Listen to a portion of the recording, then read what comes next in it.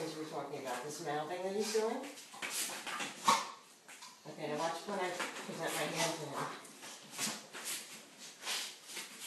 Cause I have court people doing that to him and fighting with him and pulling on the leash. So I'm just gonna step into him and tell him, no.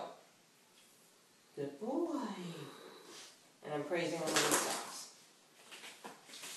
One of the reasons that hands don't work if you ever watch dogs interacting with each other, the only time they'll pick up their paw to another dog is while they're wrestling to escalate the cycle.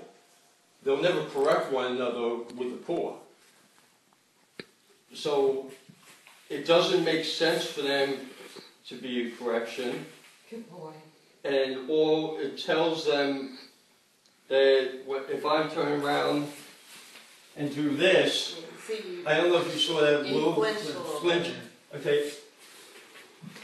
Well, the flinch part comes from the, a couple of times that people have got frustrated and tried treating probably like a child to give them a slap.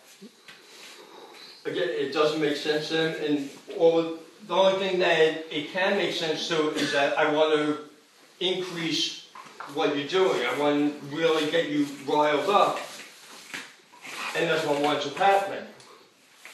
Um, if you watch them with each other, you'll see just the way they come into each other is with real quick, decisive, calm motions.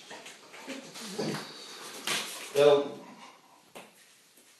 it's something they understand with their hands, they don't. We're wrestling with them with the leash, just Yeah. increases it. He's done it, and I, you know, Missy has done this, so, um, certain people bring him to rile up with the leash. And He'll grab the leash,